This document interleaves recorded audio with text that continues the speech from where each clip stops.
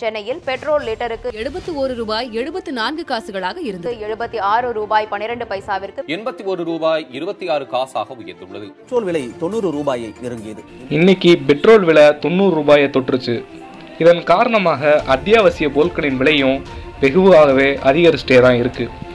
உண்மையிலேயே பொருளாதாரத்தில் இந்தியா பின்தங்கி தான் போயிட்டு இருக்கா அதை சமன் செய்யத்தான் பெட்ரோல் விலை ஏறிக்கிட்டு இருக்கா. இல்லை க்ரூட் ஆயில் விலை அதிகமானனால தான் எரிபொருளின் விலையும் இவ்வளவு அதிகமாயிருச்சா? என்ன நடக்கிறது? எரிபொருள் விலை உயர்வில். இப்போது பார்க்கலாம்.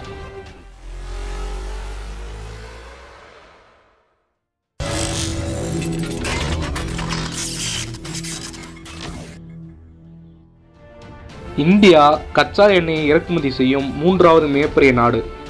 நம்ம நாட்டிலையும் கச்சா எண்ணெய் வெகுவாகவே உற்பத்தி செய்யப்பட்டு வருகிறது. ஆனால் நம்ம அதிகப்படியாக எண்பத்தஞ்சு சதவீதம் அளவிற்கு ஈரான் நாட்டிலிருந்தே தான் இறக்குமதி செய்து வரோம் உலக நாடுகள் எப்போவுமே கச்சா எண்ணெயை சுலபமாக இறக்குமதி செய்வது கிடையாது. அமெரிக்கா எப்போதுமே ஈரான் நாட்டை சுலபமாக விட்டுவிடுவதும் கிடையாது. சென்ற வருடம் கூட ஈரான் நாட்டில் உள்ள மிகப்பெரிய எண்ணெய் கிணற்றில் ஏவுகணை தாக்குதல் நடத்தப்பட்டதும் இதன் விளைவாக கச்சா எண்ணெயின் விலை கணிசமாக அதிகரிக்கப்பட்டதும் பின்னர் சரி செய்யப்பட்டு விலை கட்டுக்குள் கொண்டு வந்ததும் நினைவுக்கு வரும். இப்போ நம்ம நாட்டுக்கு வருவோம்.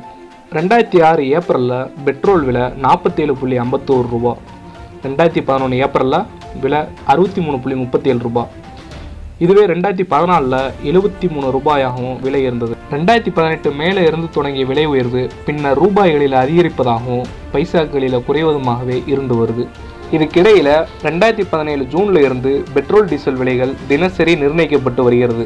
காரணம் என்னன்னா தினந்தோறும் கச்சா எண்ணெயின் விலை ஏற்ற இறக்கத்தாலும் மேலும் டாலருக்கு நிகரான ரூபாயின் மதிப்பும் நாளுக்கு நாள் மாறுவதாலும் மத்திய அரசு ஒவ்வொரு நாளைக்கும் மாற்றி அமைக்கும் முறையை கொண்டு வந்திருக்காங்க.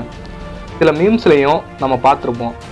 இலங்கைக்கு இந்தியா தான் க்ரூட் ஆயிலை எக்ஸ்போர்ட் பண்ணுறாங்க அங்கே பெட்ரோல் விலை இந்திய ரூபாயோட கம்பேர் பண்ணும்போது ஐம்பத்தஞ்சு ரூபாய் தான் ஆனால் எக்ஸ்போர்ட் பண்ணுற நம்ம நாட்டில் பெட்ரோல் விலை எண்பத்தஞ்சு ரூபாய் என்றெல்லாம் கேட்டிருப்போம் பார்த்துருப்போம். இதற்கெல்லாம் காரணம் இந்தியாவில் விதிக்கப்படுகின்ற வரிகள் தானே ஒரு வரியில் சொல்ல முடியாது. இந்த வரிகளை பற்றி விரிவாக பாகம் இரண்டில் பார்க்கலாம். இப்போ பெட்ரோல் டீசல் உற்பத்திக்கு மூலப்பொருளான க்ரூட் ஆயில் அதாவது கச்சா எண்ணெயின் விலையை கடந்த பதினஞ்சு வருஷ பெட்ரோல் விலையோட கம்பேர் பண்ணி பார்ப்போம். ரெண்டாயிரத்தி நாலாம் ஆண்டில் கச்சா எண்ணெயின் விலை அதிகபட்சமாக பேரல் ஐம்பத்தி ஆறு டாலராகவும் குறைந்தபட்சமாக நாற்பத்தி ரெண்டு டாலராகவும் இருந்தது. இங்கே ஒரு பேரலுங்கிறது நூற்றி ஐம்பத்தொம்போது லிட்ரு பெட்ரோல் விலை அந்த வருஷத்தில் முப்பத்தாறு புள்ளி ஐம்பது ரூபாவாக இருந்தது. ரெண்டாயிரத்தி பதினொன்றில் க்ரூட் ஆயில் ப்ரைஸ் அதாவது ரெண்டாயிரத்தி பதினொன்றாம் ஆண்டு கச்சா எண்ணெயின் விலை அதிகபட்சமாக நூற்றி பதிமூணு டாலராகவும் குறைந்தபட்சமாக தொண்ணூத்தொரு டாலராகவும் இருந்து வந்தது. அந்த ஆண்டு பெட்ரோலோட விலை அறுபத்தி ஆறு ரூபாய் ரெண்டாயிரத்தி இருபதில் கச்சா எண்ணெயின் விலை அதிகபட்சமாக முப்பத்தி எட்டு டாலராகவும் குறைந்தபட்சமாக பத்தொம்போது டாலராகவும் கச்சா எண்ணெய் வரலாறு காணாத அளவில் வீழ்ச்சியை சந்தித்தது. அப்பையும் பெட்ரோல் விலை எண்பத்தஞ்சிலிருந்து எண்பத்தெட்டு ரூபாவாக அதிகரிக்கப்பட்டது.